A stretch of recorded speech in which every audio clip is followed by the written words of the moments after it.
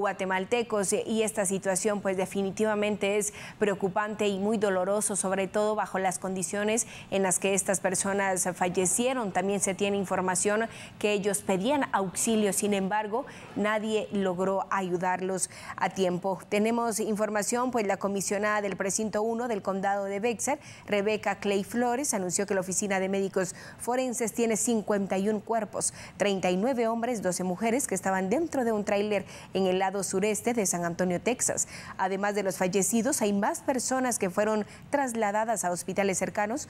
Todos los trasladados presentaban cuadros de deshidratación y se encontraban débiles ya que no se podían levantar por sí mismos. La hipótesis apunta que las altas temperaturas en la región causaron la muerte de los migrantes. El tráiler utilizado por los coyotes fue encontrado en las afueras de San Antonio, Texas, en una carretera cerca de la autopista I-35 que llega directo a la frontera con México. A unos 250 kilómetros de la frontera es una ruta principal para los traficantes por su cercanía a las vías del tren, por lo que el vehículos del transporte pesado como el que se encontró son un medio muy utilizado por los migrantes y coyotes que pretenden ingresar de manera irregular a los Estados Unidos.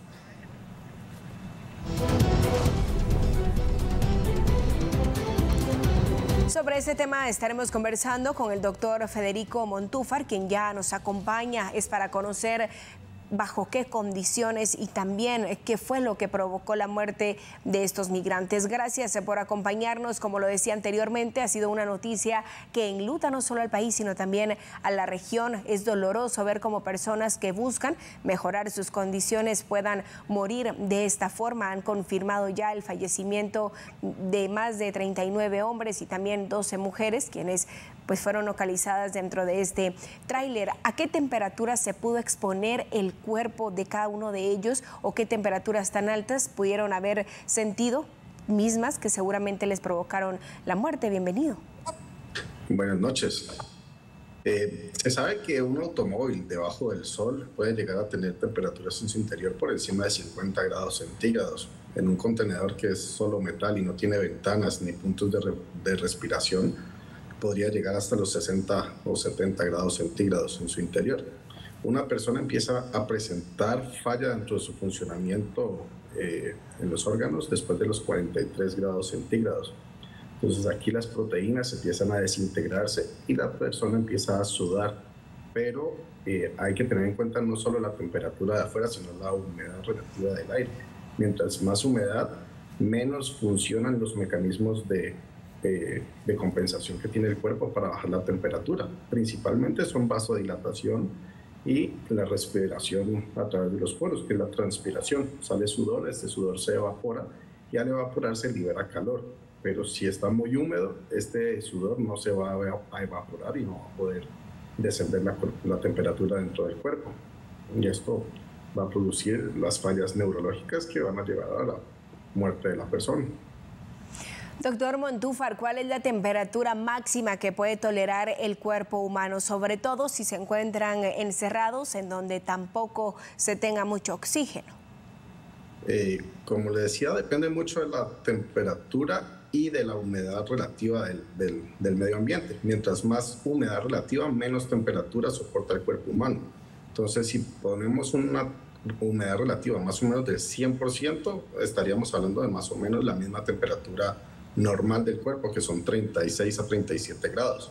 Pero si bajamos la humedad relativa del medio ambiente a 50%, sería más o menos de 44, 45 grados en adelante, que es lo, lo que soporta el cuerpo humano. Estas temperaturas también varían dependiendo de la condición física de cada persona y el tiempo va a ir aproximadamente de 20 minutos a un par de horas que podemos llegar a tolerar estas temperaturas extremas. Se han hecho experimentos, pero no se ha logrado determinar una temperatura exacta, porque hay gente que ha soportado incluso 100 grados centígrados por unos cuantos minutos. Por ejemplo, los que se meten a pozos con trajes especiales, los bomberos y todas estas personas. No pueden durar muchos minutos, pero sí aguantan altas temperaturas. ¿Cuáles son los síntomas? O quizá la pregunta correcta puede ser la siguiente, ¿qué sintieron eh, estas personas al estar encerrados eh, bajo estas temperaturas, sin oxígeno, sin tener e, en este caso aire y, la situación, por supuesto, es, se complicó cuando tampoco recibieron auxilio.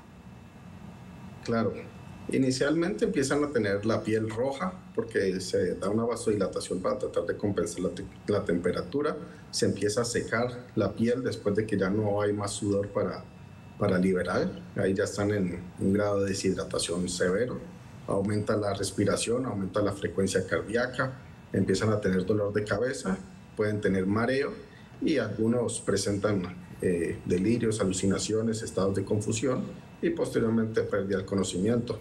Ahí todavía están vivos, pero si esto se mantiene por unos minutos más, se llega a la muerte.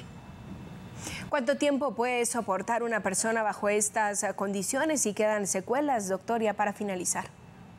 Aproximadamente eh, de 20 minutos hasta un par de horas. Se habla más o menos de dos a tres horas el tiempo máximo que puede soportar una persona en estas condiciones. En caso de los que se pueden lograr recuperar, quedan con secuelas. Depende del tiempo que hayan estado expuestos a esta deshidratación y qué tan severa fue la, la deshidratación en cada uno de ellos, van a ser las diferentes secuelas. Pueden ser secuelas neurológicas, secuelas renales, secuelas en, en, pues, en la parte del funcionamiento de regulación eh, metabólica. Doctor Federico Montúfar, gracias por acompañarnos esta noche en TN Todo Noticias. Era importante dar a conocer esta situación, sobre todo porque luego de conocer esta noticia surgen dudas, surgen preguntas, aunque sabemos que mueren asfixiados, mueren por calor, pues es importante también el conocer bajo qué condiciones y qué fue lo que provocó la muerte de estos migrantes. Lamentamos esta situación. El presidente de la República, Alejandro Yamatei, ha dado a conocer que se establecerán tres días de luto en nuestro país, ya que dentro de los fallecidos se ha confirmado que hay guatemaltecos, guatemaltecos que buscaron un sueño y encontraron la muerte.